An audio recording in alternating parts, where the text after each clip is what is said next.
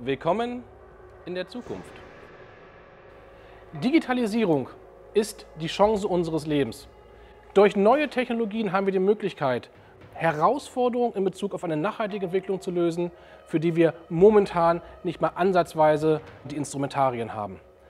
Das funktioniert aber nur, wenn wir als solches nicht nur die technischen Dimensionen anschauen, sondern auch das Thema Mensch mit einbeziehen.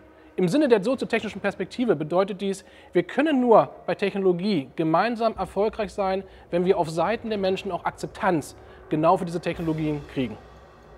Aufgrund der exponentiellen Entwicklung von Technologien dürfen wir nicht damit rechnen, dass die Welt morgen so aussieht, wie sie heute ist.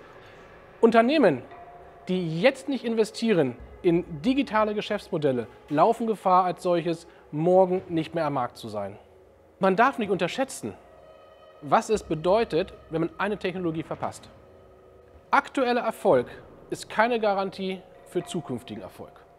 Das, was wir brauchen heute, ist das folgende. Wir brauchen neues Denken und zwar nicht nur ein bisschen anders, sondern es muss radikal anders sein. Mit dem bestehenden Denken werden wir nicht in der Lage sein, Zukunft zu gestalten, wir werden nicht als Unternehmen in der Lage sein, langfristig am Markt erfolgreich zu sein. Wir haben gerade so etwas wie den perfekten Sturm für die Lebensmittelindustrie. Wir können als solches auf technologischer Seite alternative Produkte anbieten. Konsumenten fragen die Produkte zunehmend nach, weil sie in der funktionalen Sicht äquivalent sind.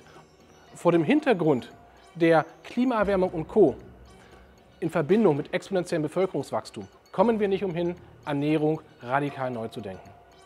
Können Sie solchen Informationen vertrauen, die Ihnen von Unternehmen auf Webseiten präsentiert werden? Nein, können Sie nicht. Sie wissen nie, ob das die richtigen Informationen sind. Das, was Sie hier sehen, ist Transparenz. Und Transparenz ist einer der wichtigsten Schlüssel, um Vertrauen in der Gesellschaft aufzubauen. Und jetzt denken Sie daran, wo wir technologisch stehen im Vergleich zu vor 50 Jahren. Und wo wir morgen stehen werden.